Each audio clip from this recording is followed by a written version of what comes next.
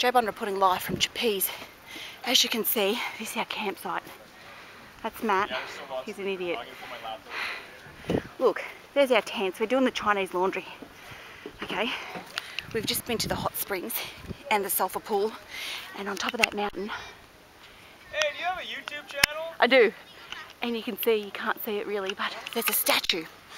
Anyway, I'm going to take you for a walk and I'm going to show you something live. These are bathrooms that you would never believe. We're in a place called Tshipise. It starts with a T. This is our bathroom block.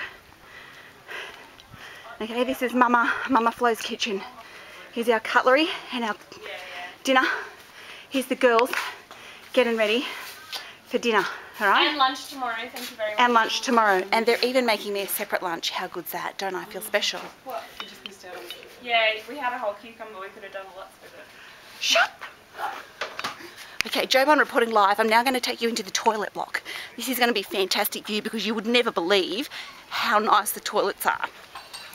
Now, you think when you go camping in Australia that you're just going to get a tent and a dunny out the back. This is like you would never believe. Here's a toilet block and your piece. Oh, ow. Look at that. Marble floor. Mirror. Toilet. Now get a load of this. This is surreal. Marble bench tops.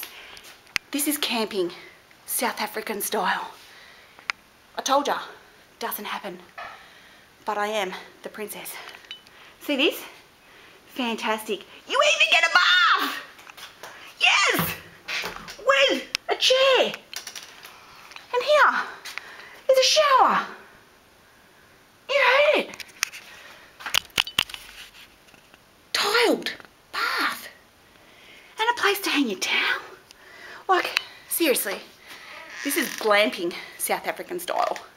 And glamping, in fact it's flamping because I'm flamboyant, Joe Bond style.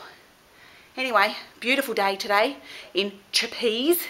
Starts with a T. In somewhere in South Africa. I don't know, it's not in the Eastern Cape, it's not in the Western Cape, it's not in Limpopo. In fact, it probably is. But anyway, Joe Bond's having a ball. I'll check it out live later.